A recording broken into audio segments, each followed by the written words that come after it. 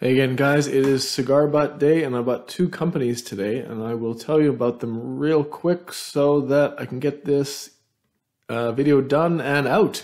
All right, I just bought 7% of my portfolio in uh, a combination of Liberty Global and Teva.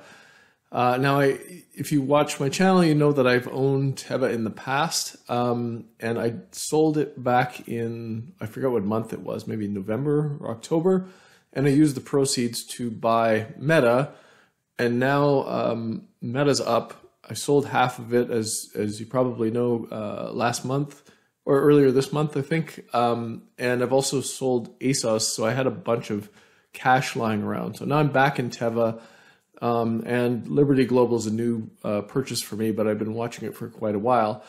Now these are not um, what I consider core holdings. I think that these are cigar butt style investments where um, maybe not even investments, but purchases where uh, I think there's one last smoke left in them. There's probably a few smokes left in them, as you can see by the chart on Teva, particularly.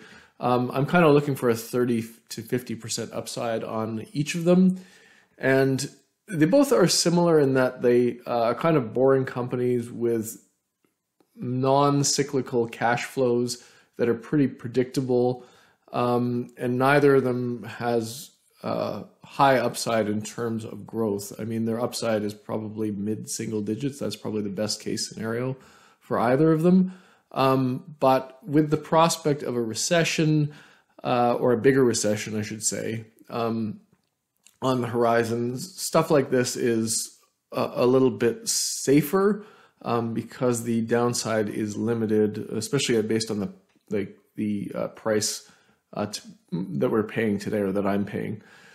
Um, so okay, I'll, I'll, go through each each of them individually really quickly, just high level stuff. I might do more in depth uh, on Liberty Global in another video, but for now, I'm just going to talk about it generally.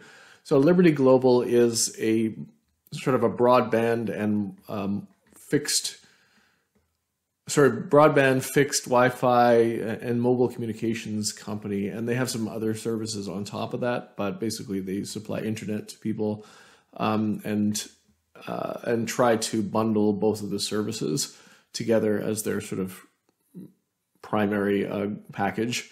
Um, now, this is Seth Klarman's largest position, uh, so it has a stamp of approval here from him. Um, and as you know, about Seth Klarman, he really focuses on risk, right? That's his primary uh, thing that he focuses on. And, you know, just researching um, uh, Liberty, I, I think that they're a, a, fairly low risk company because the cash flows are, are, are quite predictable into the future. Um, this purchase is, I think I bought it at 1680, the A class shares, and that's maybe 15 to 20% below where he purchased. So I like, um, I do like buying below where uh, gurus that I that I follow uh, bought. So that's a that's a, a another uh, tick tick in the uh, positive column. Um, so the, in terms of the class shares, I, I didn't really notice much difference between them except the voting rights, and I don't actually care about that because I'm not a uh, I'm not a big shareholder and I'm not a permanent shareholder.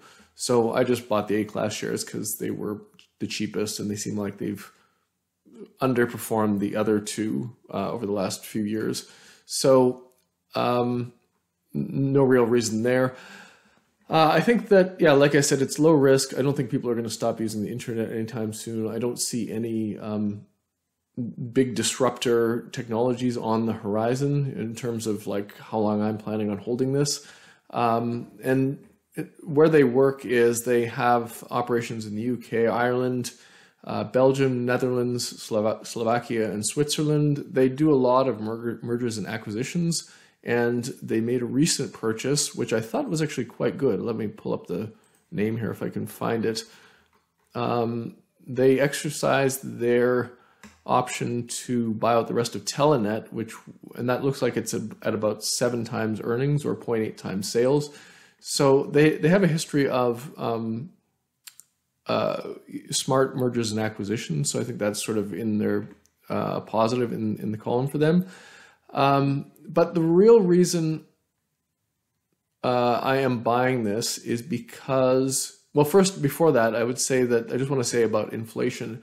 Uh, they got hit by inflation in terms of their cost structure the last quarter uh, or or two, um, but they have a plan to raise all their prices across the board uh, fairly significantly, actually, to offset that. So that shows to me they have pricing power, they have the ability to, to uh, survive and maintain cash flows in an inflationary environment, which is good. Um, Buffett uh, followers will will notice that that is one of his, one of his key criteria, the ability to ability to raise prices. Um, and but again, that's not my main uh, reason for buying. I think that the, the the big obvious thing here is the buybacks. These uh, they're they commit to buying at least 10% of their shares back every year. Um, and they are well on the way to doing that. And especially if the stock price stay, stays at this level. I mean, it's at um, 7.7 billion of uh, in market cap, and their expected distributable cash flows are 1.6 billion. So that's about a 20%, um,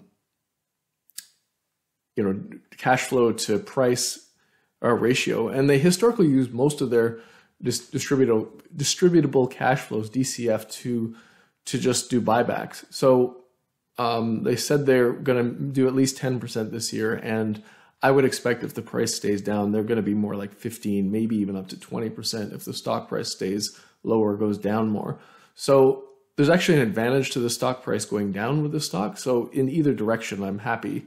Uh, the stock price goes down, they buy back more ultimately that's better for me. Stock price goes up, maybe it goes up 30, 40%, I can cash out. Um, you know, at this point, I'm happy with either, so I like that. Um, last year, they did buy back 14% of their shares, so you can see that, like, um, you know, they could eat half of this company pretty quickly. Um, and the cash flows aren't expected to change too much. They actually might go up because they think there's going to be some synergies from some of the recent acquisitions they made um, that haven't fully materialized yet. So with synergies, I don't really bank on them, but it's sort of a, a bonus upside if it, if it happens. Okay, so that's Liberty Global. Uh, Teva, I mean, you can watch some of my other videos and what I think about it, but basically it's predictable cash flows. They're trading at three times earnings, four and a half times free cash flow, and basically it's recession proof. Um, they've got their uh, big litigation problem in the rearview mirror now, which is a big deal. And it looks like some growth is starting to potentially materialize, which I think might help the stock re-rate. I've been wrong about this before. I thought it should re-rate on the litigation. It didn't. Um, so who knows? Maybe nobody actually cares about this company because um, really what they they basically said that uh, shareholders aren't going to be seeing the cash flows anytime soon. They're going to keep paying their debt down uh, for the next few years. So uh, the dividend won't come back yet. But I do think that at three times earnings, that, that puts a fairly strong floor under the stock. I mean, if you look at the, the chart, it's it, it comes down to this level and then it just it, it, it bounces back up because people start saying, well, that's pretty cheap. Um, I assume I assume that's what's happening. Um, but I'm expecting I'm just banking on another one of those bounces, and if it gets back above 10 11 dollars, uh, I'll probably unload it. Uh, in terms of the actual business, the upside is from some of their uh, proprietary drugs, Ajovy and Austedo. These are the um, the main area where they could generate some growth. Um, and those are both doing quite well over the last few years. So we'll see if they get to a a, a sales level where they really do impact the uh, the top and bottom lines. Um, yeah, I don't I don't think there's much to add here except that you know I, these aren't like I said these aren't permanent holdings. If I get another, if I see another opportunity like Meta last uh, November where it was just obviously too cheap, I, I can sell these two stocks generate cash to buy some of those things. So this is a, these are kind of a, um, you know, a place just to store cash where I think I'm going to get a decent return if, um, you know, if, if nothing really goes wrong with these companies. Um, so I think that's pretty much it. Uh, if you have any comments on either of those stocks, uh, please let me know. But I thought I wanted to get this out quickly so you can see what I'm doing with my uh, excess cash. All right, thanks guys. Have a great day and see you in the next video.